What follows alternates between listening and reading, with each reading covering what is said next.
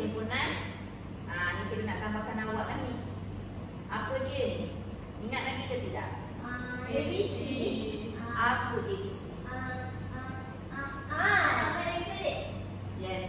Anak yang baik lagi cerdik. Ah, anak baik lagi cerdik.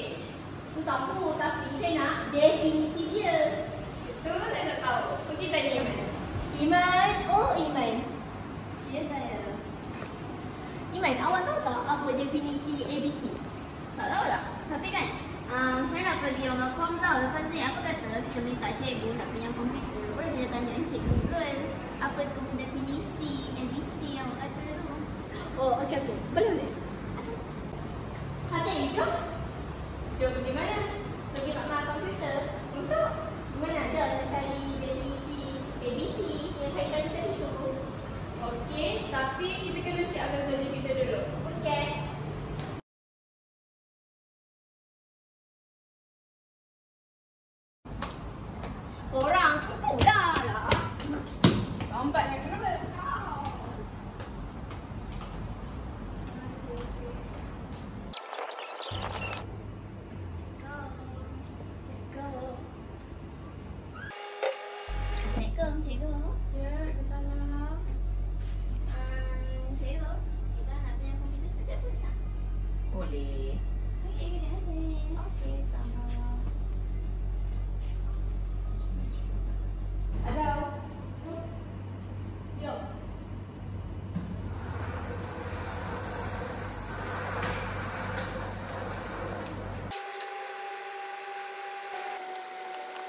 Oh, rupa-rupanya anak yang baik lagi cerdik tu adalah slogan. Slogan ni sering diungkapkan oleh Ketua Pengarah Kementerian Pendidikan Malaysia.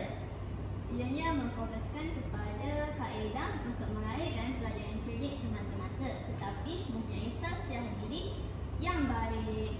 Oh, tu je yang ada nak fikir jauh-jauh tu kenapa? Kenapa lah? Kenapa? Kan saya tak faham lah. Tak faham sangat ni. Apa kata kita cuba tanya murid-murid ke, tanya cikgu-cikgu ke. Apa orang rasa pasal anak yang baik lagi cerdik ni. Okey, boleh boleh. Ya. Ah, ya, saya, saya nak tanya. Apa cikgu rasa pasal anak baik lagi cerdik? Okey, anak yang baik lagi cerdik ABC ni adalah misi yang di yang dibuat oleh kita punya Menteri Pendidikan yang baru. Anak yang baik lagi cerdik. Kenapa baik datang dulu baru cerdik datang kemudian? Sebab baik tu melambangkan akhlak.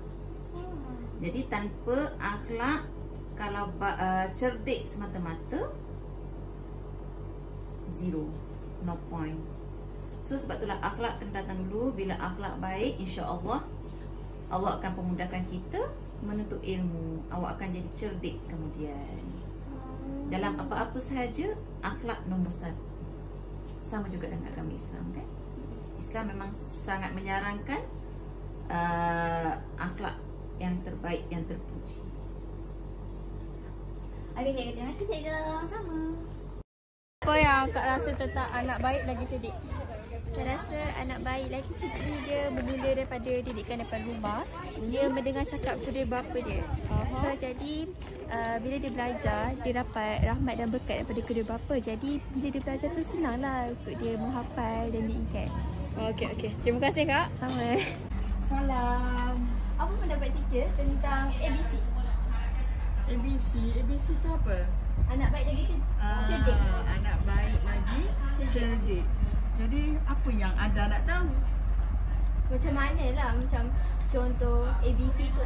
Ah, ABC anak yang baik lagi cerdik. Okey, kalau daripada persepsi teacher lah. Hmm. Okey, kalau daripada kalau ibu mestilah nak anak yang menurut kata, yang selalu menolong ibu kan. Mm-mm. Kalau daripada perspektif uh, guru pula mesti nak anak murid yang yang apa? dia.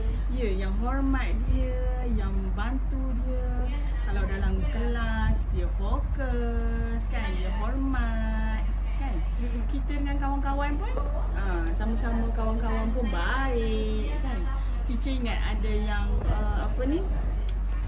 Arwah ayah teacher pesan kalau kita baik dengan manusia, kalau um, orang sayang kita, uh, Allah akan sayang kita. Jadi semua yang kita buat tu akan mudah. Hmm. Jadi maksudnya kalau kita belajar, kalau kita fokus, cikgu sayang kita, apa yang kita belajar tu mudah ingat. Mudah dapat, mudah Ah. hafal. Dalam exam nanti boleh sembilan jawab. Ah, iya. Terima kasih teacher. Ah, iya. Sama. Kesimpulannya, semua orang ada pendapat mereka yang berbeza tentang slogan kata anak baik lagi cerdik.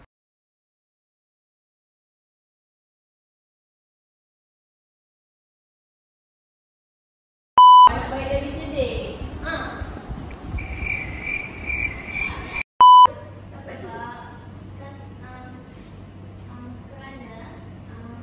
Okay, apa yang awak